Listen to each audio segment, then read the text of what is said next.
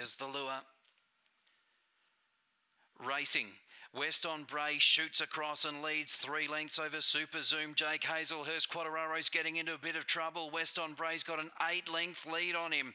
And then came Hazy Flash, Speed Missile and Energetic. West on Bray by three. Super Zoom Jake. Then Hazelhurst Quadraro six off the lead. West on Bray by two. Super Zoom Jake makes ground. West on Bray's finding enough though. And West on Bray has won in 27 29. Super Zoom Jake split splits the favourites, with Quadraro third and Hazelhurst is fourth, then Hazy Flash, Speed Missile, Energetic, and that time is very fast.